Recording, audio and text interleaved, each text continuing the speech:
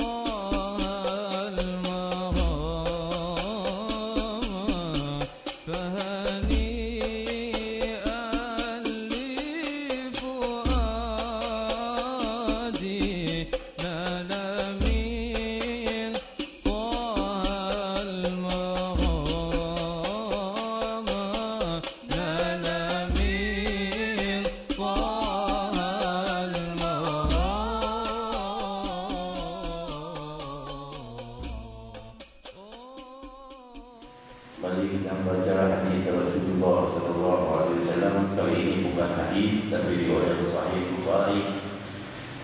Terbaut pada ucapan Sayyidina Abu Bakar Siddiq radhiyallahu anhu yang terikat pada pembahasan kita kita Risalatul Jami'ah malam hari ini.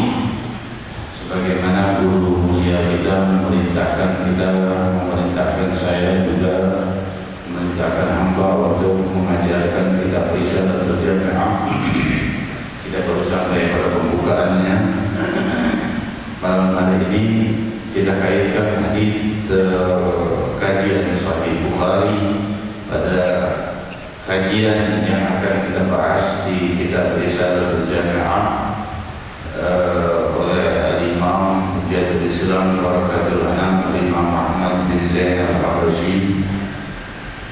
Karena Kata Abu Bakar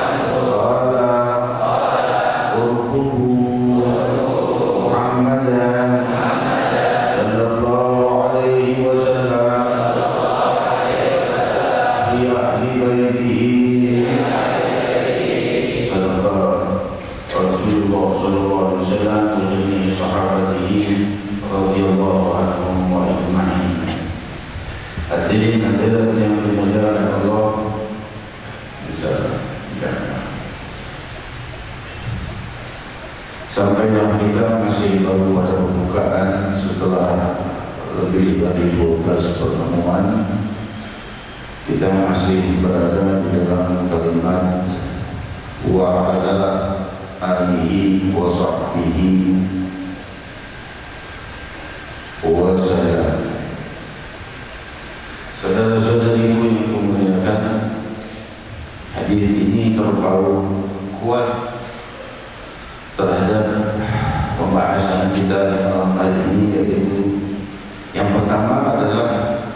kalimat wa'ala wa'ala di sini saya perlu membahas dengan pembahasan ringkas yang bukan pembahasan para ulama dan para uh, kiai dan para abai sepuh yang mana membahasnya secara dalam tapi saya membahasnya sekedar menjawab daripada yang di uh, perlu kita pahami di dalam menjawab hujatan-hujatan uh, terhadap Allah Subhanahu wa taala. Allah dihujat di masa ini di masa lalu dan di setiap masa. Hujatan Allah Subhanahu wa taala saat ini adalah Allah Subhanahu wa taala itu berada di atas arus ya Tumastawa al-arsh Lantas Allah Subhanahu wa taala itu beristiwa di atas arus kalimat ala yang berasal jangan lupa secara lugawi berawal dari kalimat ulu yaitu mulia. Jangan langsung ditafsirkan secara syar'i dengan kalimat ala itu pasti di atas. Allah itu bisa bermakna di bawah. Ya. Misalnya seorang berkata munzir jelas wa qad farasha lahu ala kursi. Ya kursi disebut di atas munzir disebut di bawah. Padahal maksudnya munzir di atas kursi. Atau kalimat seseorang berkata si itu adalah orang misalnya seseorang yang mempunyai jabatan tinggi. Menteri tentunya berada di bawah presiden atau raja misalnya tapi kebetulan menterinya ada di presidennya ada di lantai, di lantai satu. Ada misalnya dulu kita berikut Muhammad Kabir atas yang maha kebetulan presiden atau rajanya berada di lantai satu menterinya berada di lantai tiga. Bukankah ini bermaksud seseorang berkata menteri di atas presiden apakah menteri di atas presiden? Betul. Nah, di atasnya. Lantai tiga presidennya di lantai satu. Tetapi yang dimaksud adalah tetap presiden di atas menteri ini artikel boleh atas bisa bermakna bawah, bawah bisa bermakna atas. Ya. Oh, bisa bermakna tahat, tahat bisa bermakna fawq. Hadirin hadirat yang dimuliakan Allah. Allahumma salli ala Sayyidina Muhammad. Wahai Allah, limpahkanlah timpakanlah anugerahkanlah salawat atas Muhammad. Berantakan di atas kepalanya Rasul maksudnya dan tentunya bukan begitu kepada. Kalimat Allah berubah menjadi bermakna kepada Hadirin hadirat yang dimuliakan Allah keluasan bahasa Arab sangat mendalam. Kalau kita dalami semakin kita dalami semakin kita pahami betapa lemahnya hujah-hujah mereka yang mengatakan Allah berada di atas arsh karena di atas bisa bermakna di bawah di bawah bisa bermakna di atas. Bumi berbentuk bundar semua berkata Tuhan di atas. Yang sebelah bawah mengatakan Tuhan di atas. Berarti di atas yang Rahman Hadirin hadirat yang dimuliakan Allah di dalam firman Allah Subhanahu wa taala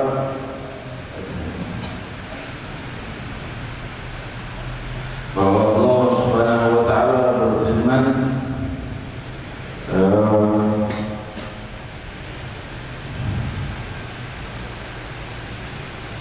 di dalam hadis qudsi riwayat sahih Muslim bahwa Rasul sallallahu alaihi wasallam bersabda menyampaikan firman Allah yang berfirman Aku turun ke langit yang pertama paling dekat ke bumi di sepertiga malam yang terakhir. Turun ke sepertiga malam yang terakhir sepertiga malam terakhir itu tidak hilang dari bumi terus bergerak ke barat. Di sini hilang berganti fajar, di tempat lain baru mau mulai sepertiga malam. Jadi Allah akan naik-naik di situ-situ aja. Ini kacau balonnya pemikiran tauhid yang baru di abad ke-18. Mereka mengatakan mereka menyucikan tauhid pensucian tauhid padahal ini adalah perusakan tauhid. Hadirin hadirat yang dimuliakan Allah, Allah Subhanahu wa taala maksudnya turun di sepertiga di, di langit pertama di sepertiga malam yang terakhir maksudnya lebih dekat kepada hambanya, rahmatnya dan ijabahnya dan pengampunannya dan segala anugerahnya dibanding waktu-waktu yang lain. Itu yang dimaksud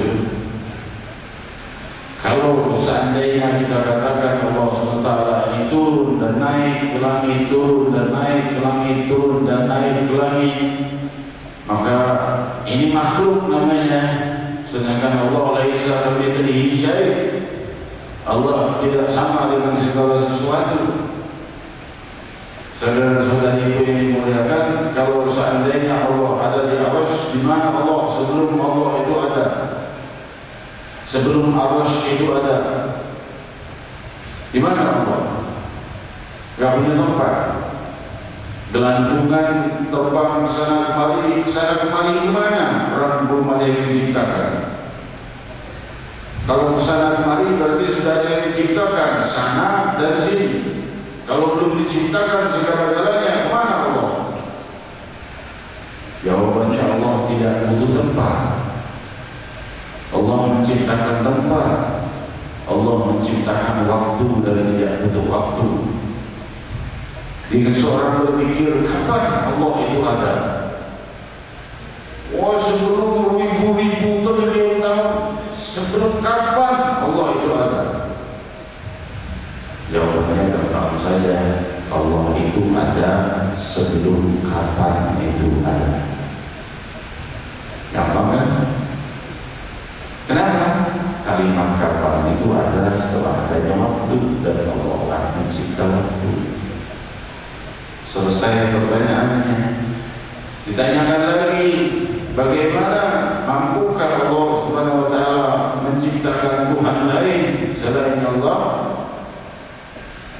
Pertanyaannya sudah salah. Karena kalau diciptakan berarti pencipta berarti makhluk Makhluk adalah yang diciptakan Sedangkan Tuhan itu tidak diciptakan Tapi mencipta. Kalau Allah mencipta makhluk lain Dan dikatakan dia adalah Tuhan Atau dia dikatakan dia adalah Allah maka berarti yang kedua itu tadi ciptaan. Bukan Allah yang tidak dicipta. Allah Al-Khaliq maha pencipta bukan maha dicipta. Kita makhluk dicipta. Ya oleh Allah Subhanahu wa taala. Ya hadirin hadirat yang dimuliakan Allah manjang-manjang ke sana. Akhirnya ludruk ya. daripada mengikuti ajaran ludruk lebih mengikuti ajaran yang sudah jelas sangat keguruannya pada Rasulullah Sallallahu Alaihi Wasallam. Saya buka, saya tahu di sini ada intelijen, nguping dan merekam, silahkan rekam. Dari mana asal muasalnya negeri Saudi Arabia? Maaf. Dan dari mana asal muasalnya negeri Indonesia? Boleh-boleh saja kami bicara sejarah. Negeri Saudi Arabia itu tiada. Abad ke-18 Saud seorang pimpinan kabilah berpadu dengan Ibn Abdul Wahab dibantu oleh Inggris memberontak pada khilafah Uthmaniyah satu khilafah Uthmaniyah yang memimpin uh, Haramain dan uh, lainnya di wilayah Turki Turki Uthmani. Khilafah Turki Uthmani. Mereka memberontak dan memisahkan Haramain Makkah dan Madinah dan menguasainya.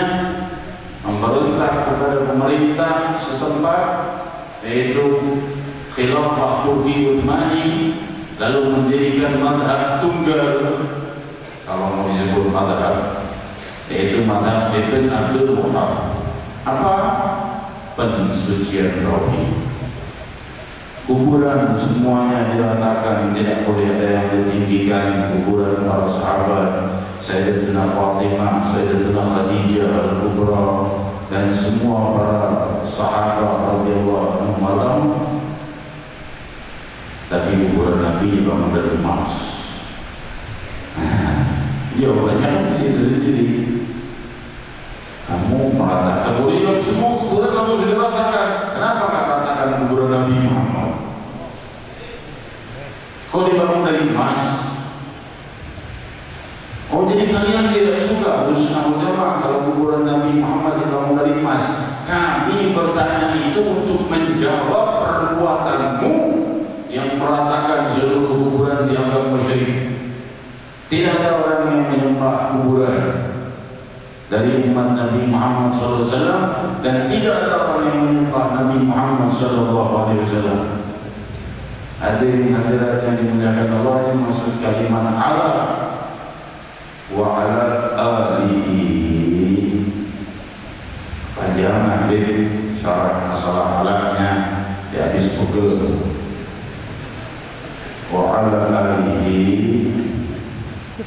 dan atas ayah Nabi SAW itu adalah Bani Hashim dan Bani Abdul Muttalib sebagian ulama mengatakan sebagian ulama mengatakan ini adalah uh, seluruh muslimin alun Nabi sallallahu alaihi wasallam. Pendapat ini diperkuat dengan firman Allah Subhanahu wa taala di surat Al-Baqarah uh, salawatullah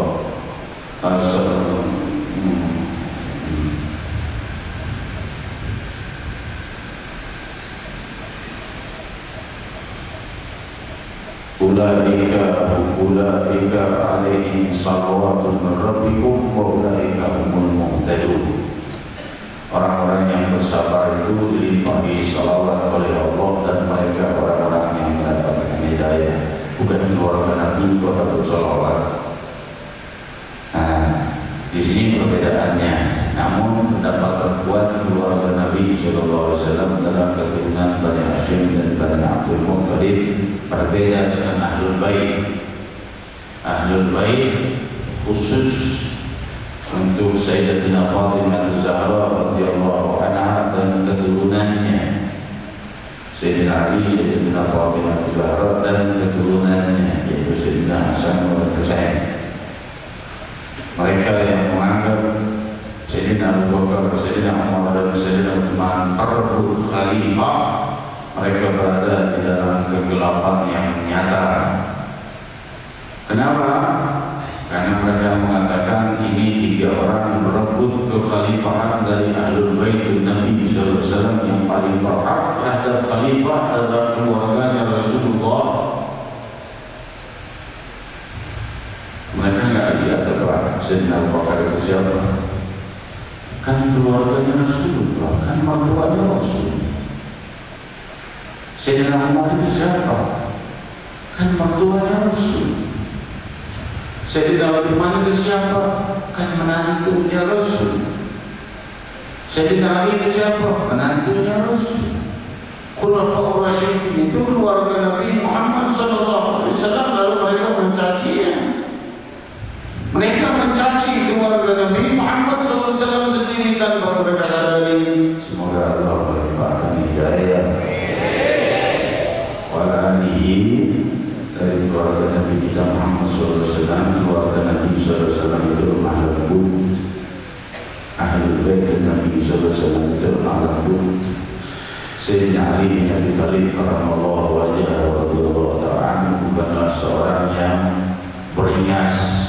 emosional bukan. Orang yang sangat sabar. Bahkan ketika dalam peperangan sudah sering terjatuh pedang lawannya tinggal dihabisi. Ucapkan syahadat yang telah diludahi wajahnya maka Ali meninggalkannya. Ke mana? para sahabat berkata habisi sudah kalau diludahi perintah syahadat dibalas dengan air ludah wajahnya yang berkata aku tidak ingin jihadku ini masuk padanya titik saja emosi Zaman sekarang jihadnya emosi titik saja daripada jihad fisabilillahnya. Ya, bakar ban, rubuhin pagar, hancurin diskotik. Diskotik yang juga sekarang besok seribu diskotik bangun lagi. Mau gimana ya?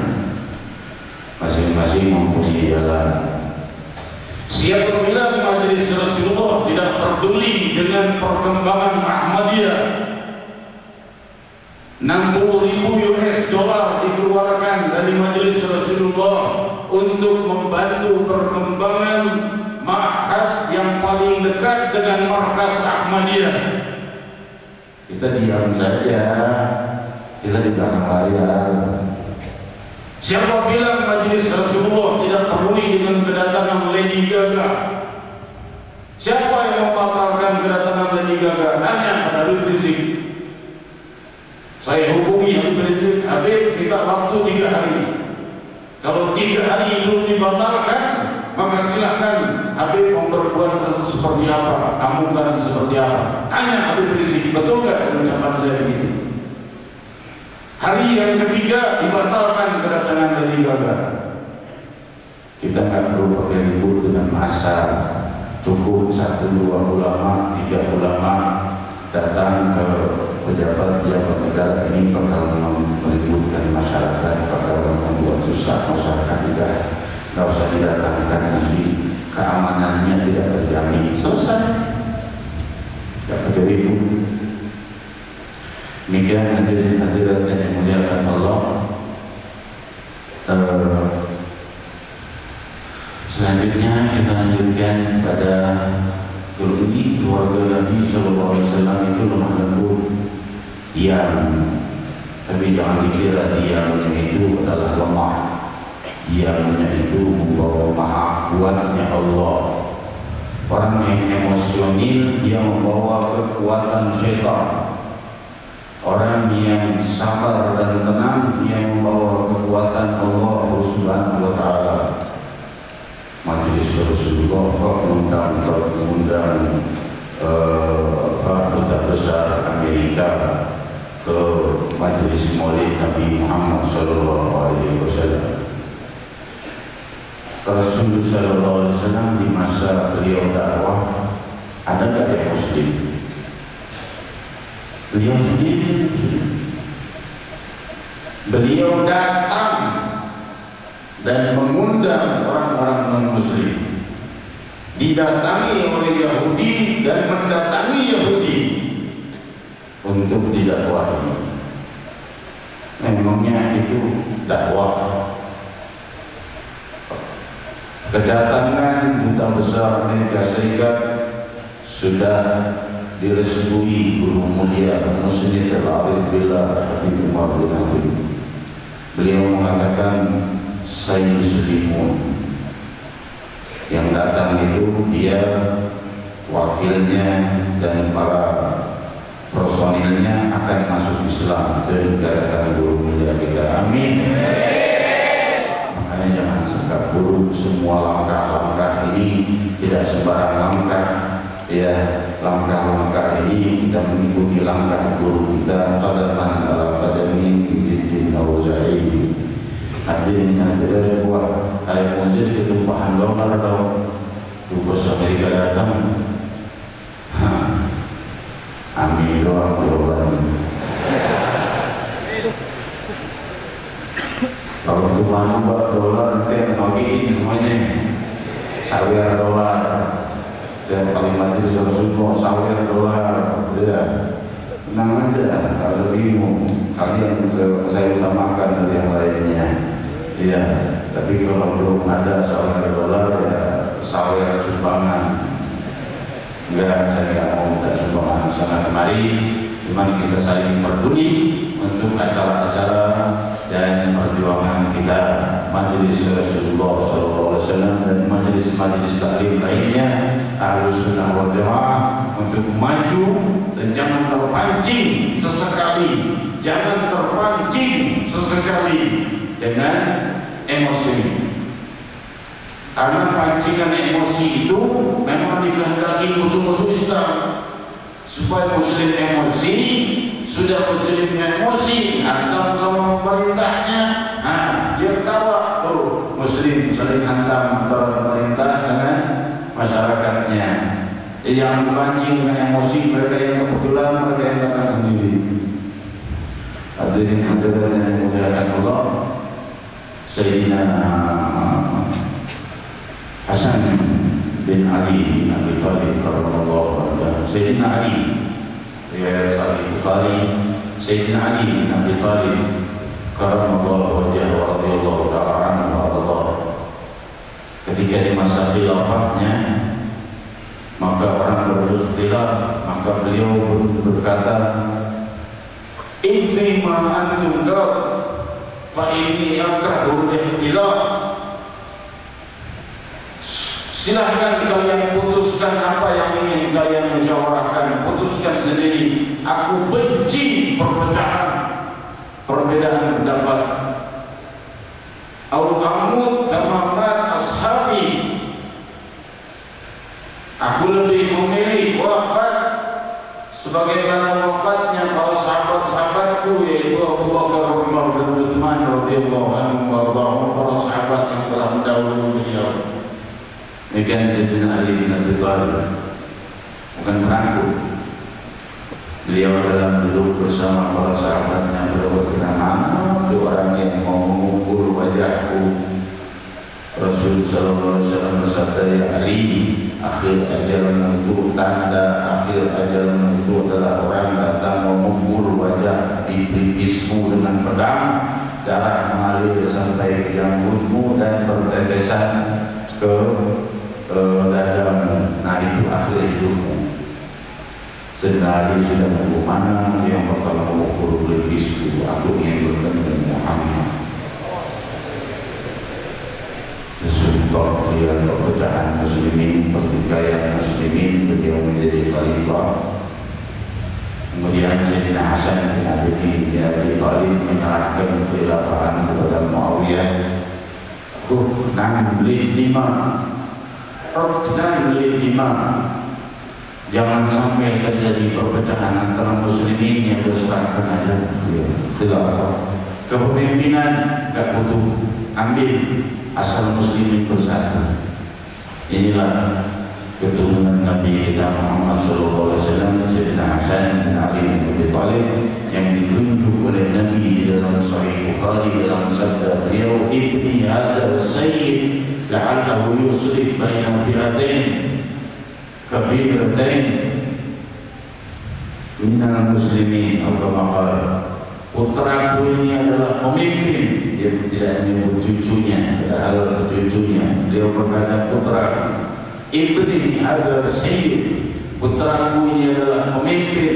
Dia akan membuat persatunya dua kelompok muslimin yang bertikai kelak Rasul sallallahu alaihi wasallam telah menjawab demikian. Putranya siapa? Sayyidina uh, saudaranya siapa? Sayyidina Husain bin Ali bin Abi Thalib. Sayyidina Husain tidak menuntut kekhalifahan dan kepemimpinan. Cuma diundang untuk datang. Diundang datang bersama keluarganya. Bukan mau kalau perang atau keluarga. Cuma 40 orang diundang diundang di sana dikompori khalifah. Khalifah Yazid ini datang nih mau bawa pengikutnya untuk merebut kepemimpinanmu. Bantai Sayyidina Hussein bin Ali bin Abi tanpa dia maksud untuk berperang. Mana orang mau merangkul istri dan anak? Hadirin mendengar selamat Sayyidina Ali Zainal Abidin radhiyallahu anhu saja alaihi rahmatullah. Ketika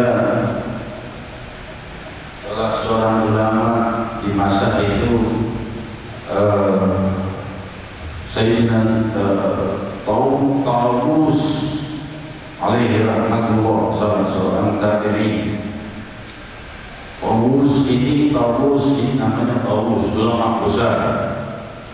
Yang mendatangi uh, makam Ibrahim yaitu tempat berdirinya Nabi Ibrahim di Ka'bah sunnah melakukan sholat sunnah dua rakaat setelah selesai tawaf di situ.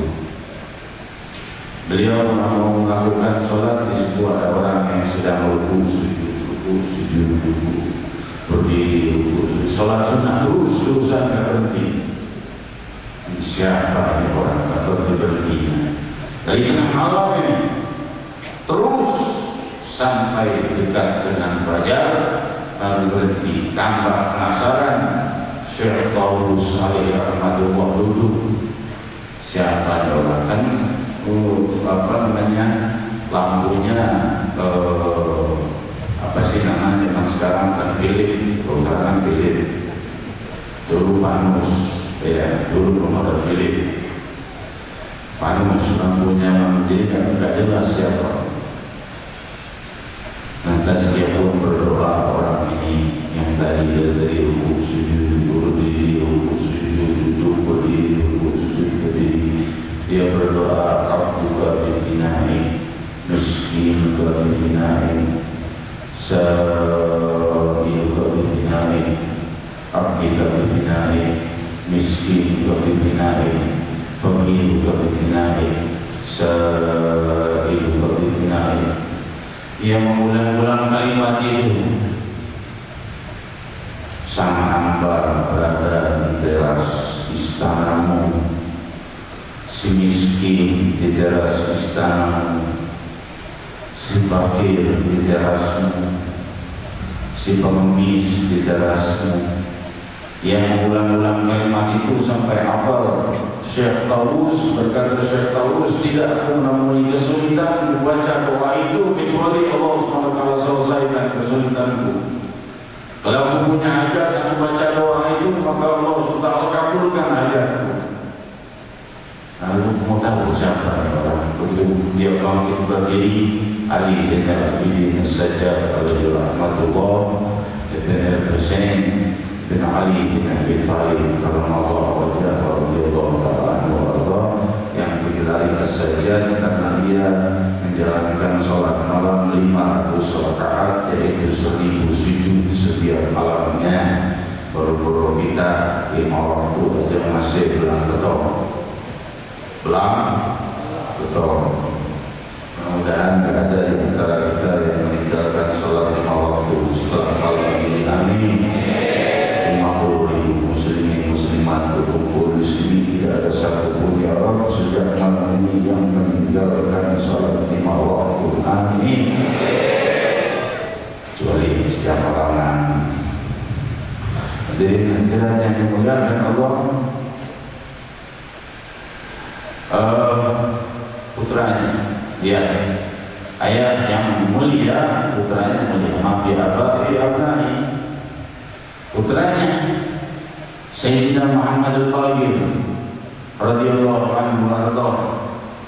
Jika dia berdoa Anaknya menceritakan doa ayahku tiap malam.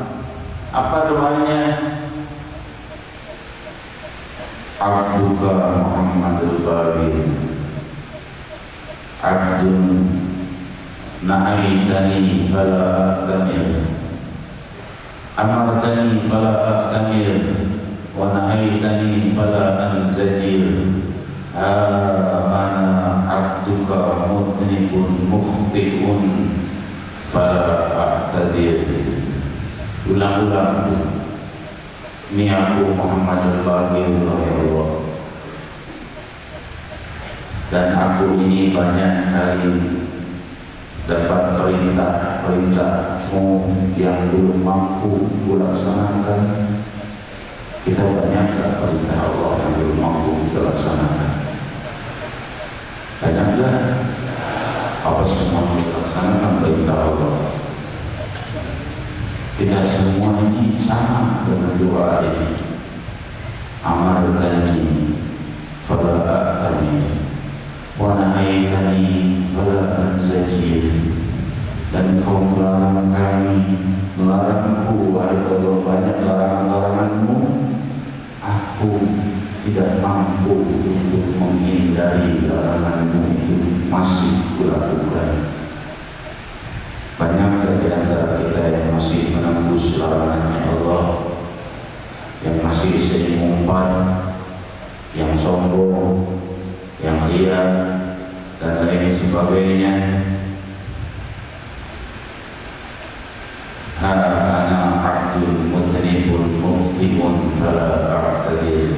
Inilah aku hamba yang penuh dosa, penuh kesalahan dan aku tidak menghindar daripada apa yang semestinya dijatuhkan padaku. Memang aku model begini tidak membela diri oh aku tidak mampu berbuat dosa seperti itu. Karena begini karena tidak ada. Memang aku pendosa yang banyak melanggar laranganmu dan banyak pula tidak menjalankan perintahmu padahal Imam Muhammad al-Baqir tidak pernah terlintas di pikirannya untuk berbuat hal yang makruh apalagi berbuat berbuat hal yang makruh pernah apalagi berbuat yang haram. Terlintas di pikiranmu perbuatan makruh pun tidak.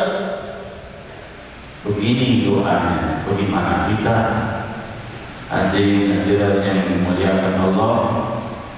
Demikian putranya Sayyidina Ja'far As-Sadiq radhiyallahu anhu arda. Kalau dia sudah berdoa yang memanggil nama Allah tidak berhenti. Ya Allah ya Allah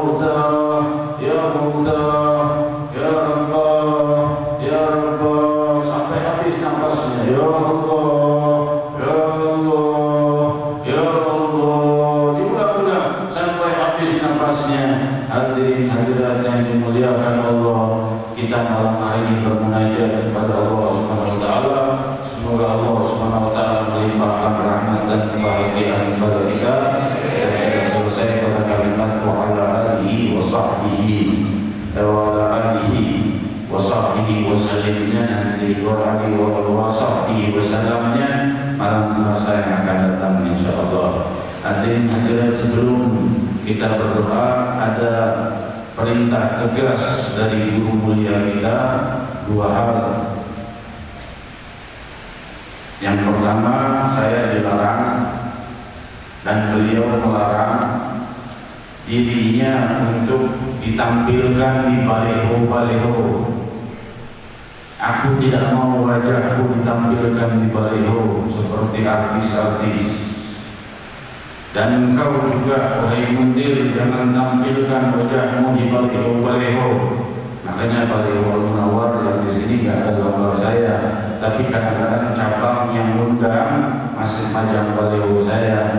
ya saya mohon cabang-cabang yang mengundang jangan lagi memakai gambar saya untuk ke pengumuman cukup gambar Masjid Nabawi pengumuman disebut siapa pembicara pembicara pembicara pembicara.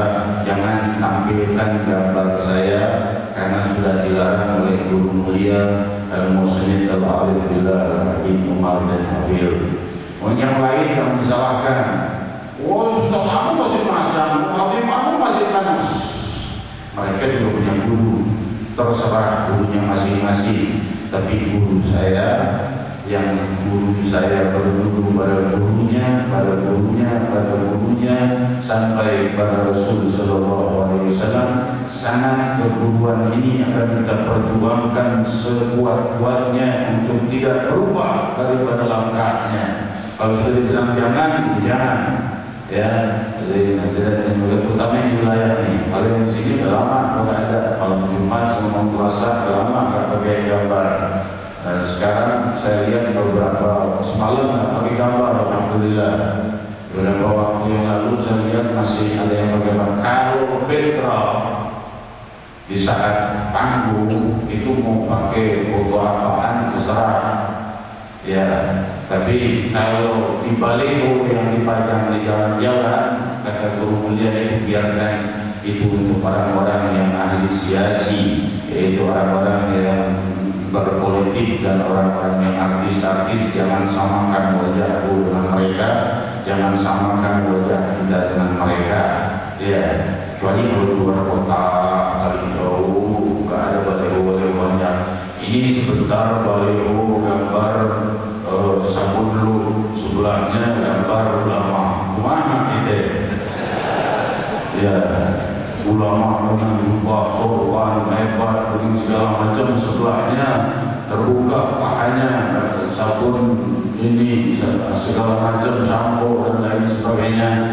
Enggak antas ya. Uh, kalau bahasa Perancisnya uh, apa sini orang apa? Orang-orang atas Saudari-saudari yang muliakan doa kalian terkabul setelah malam Selasa yang kemarin dan setelah kepulangan saudari Guru Mulia selesai sudah penyakit ini. Ini saya masih duduk di sini. Kenapa Bim masih duduk di kursi roda juga? Karena belum dibikin mimbar, mimbarnya masih dibikin. Malam Selasa depan sudah mimbar. Saya berdiri, insya Allah akan duduk lagi. Kenapa? Karena badan saya terlalu ringan perlu pegangan ya. 120 kg terlalu ringan. Butuh pegangan ya. Jadi kalau ada mimbar kan bisa pegangan itu ya. Jadi saya minta waktu ceramah waktu waktu mahal kiam saya minta kursi saya takut terjebak kepada ketidakmampuan jatuh. Lebih baik jatuh kursi daripada jatuh bawah demikian Hadirin hadirat yang dimuliakan Allah setelah ini saya berharap semangat juang kita semakin bangkit untuk Nabi kita Muhammad SAW tadi berita guru mulia kita pertama. Yang kedua yang kedua beliau menghimbau kepada bagian kios Nabawi Rijal dan Nisa untuk membuat pakaian-pakaian islami bagi pria dan wanita dan juga anak-anak kecil pria dan wanita Beliau berkata, biarkan anak-anak kalian, anak-anak mereka, biarkan berjalan dengan pakaian-pakaian islami itu. Maksudnya, saya kupas ini berbicara kali tadi ucapan beliau, cuma saya perjelas. Dulu tidak pernah ada wanita jalan dengan celana pendek. Kalau sudah dewasa, nggak pernah ada. Malu. Karena ada satu dua yang cuek, yang lainnya begini. Makanya mesti ada pria-pria dan wanita-wanita yang berani menggunakan pakaian islami dengan ucapan cuek lu mau ngomong apa ya setelah gue begini peci peci gue baju baju gue jaket jaket gue urusan lopaan itu kan ya jilbab jilbab gue urusan lopaan untuk kaum wanita banyak yang mengeluhkan di sekolah-sekolahnya tidak berada di sekolah di tempat pekerjaannya tidak diperbolehkan untuk menggunakan jilbab akan kita tabrak nanti. Bukannya dengan keras pahlawan bukannya dengan demo. Kalau MR demo repot ya Jakarta bisa runtuh revolusi akhirnya kalau MR demo ya ini majelis ini kalau demo jangan sampai ya ya sampai jutaan orang demo di Jakarta jangan pakai demo demoan biar saya bicara ke Menteri Agama dilanjutkan ke Menteri Sekretaris Negara supaya yang mau bekerja dengan jilbab jangan dilarang. Tapi kalau yang tidak mau pakai jilbab silakan saja. Yang mau pakai jilbab jangan dilarang. Allahu Akbar hadirin hadirat yang dimuliakan Allah yang mau taat kepada Allah beri kesempatan yang mau tenggelam dalam kemaksiatan silahkan urusan bagian uh, bagian masing-masing. Tapi yang taat mau taat kepada Allah jangan dihalangi.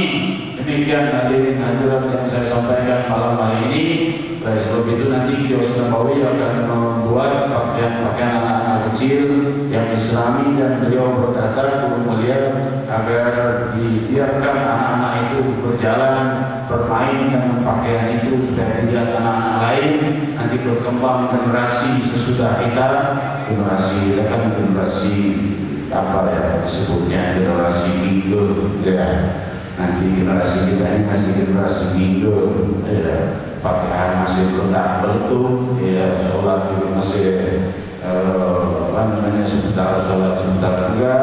Ya tapi generasi sudah kita insya muncul terbit matahari matahari cahaya sunnah Sayyidina Muhammad Sallallahu Alaihi Wasallam asyiknya menggunakan pakaian Islami asyiknya kedamaian asyiknya kebahagiaan persatuan budi pekerti yang indah. Amin. Allahumma amin.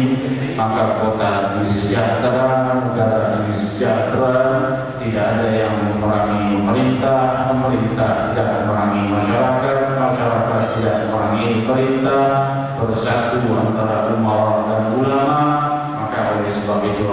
akan terjadilah di negara muslimin terbesar di dunia ini sebagai kedua atau panutan bagi negara-negara yang lain yang selalu berseteru dengan pemerintahnya. Jangan terpancing. Ya demikian saudara-saudari yang memuliakan kita bermunajat ke hadirat Allah Subhanahu wa taala. Agar Allah Subhanahu wa taala melimpahkan cita-cita kita lebih dari yang kita cita-citakan. Wa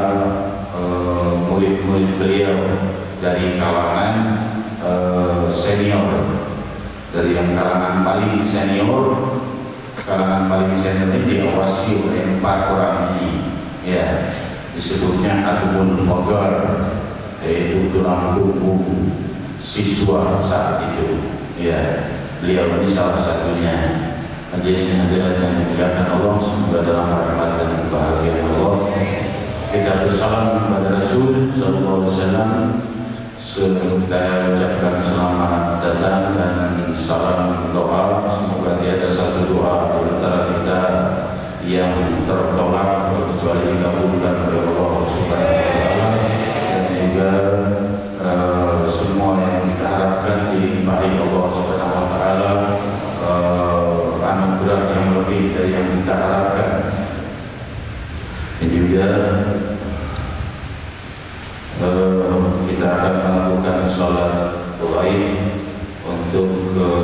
Muda yang wafat Ustaz Jufri Al-Bukhari bin Haji Ismail Modal Sebenarnya sholat dengan sholat goib itu tidak boleh dilakukan di tempat kalau seandainya satu wilayah. Kalau beda wilayah boleh. Tapi ada kaum pendapat yang mengatakan kalau terdapat jamaah besar ini bukan besar lagi 50 ribu ini ya maka lebih baik juga merupakan hal yang baik untuk juga disolat baikkan ini mumpung jemaah kumpul banyak ehm, kita melakukan sholat baik nanti dipimpin oleh guru kita Habib yang kita cintai dan bin Muhammad Babir Babos sebelumnya kita bersalam kepada Rasulullah SAW kita bersalam masyukurah Ya Rasulullah